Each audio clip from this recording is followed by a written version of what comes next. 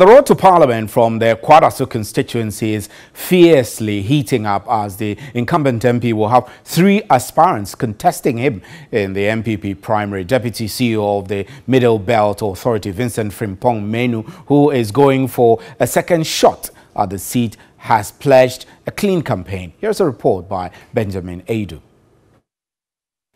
Incumbent MP Dr. Samuel Nuama will be going into the NPP parliamentary primary with former MP Hilda Addo, the Executive Secretary of the National Accreditation Board, Dr. Kingsley Nyarko, and Deputy CEO of the Middle Belt Authority, Vincent Frimpong Menu.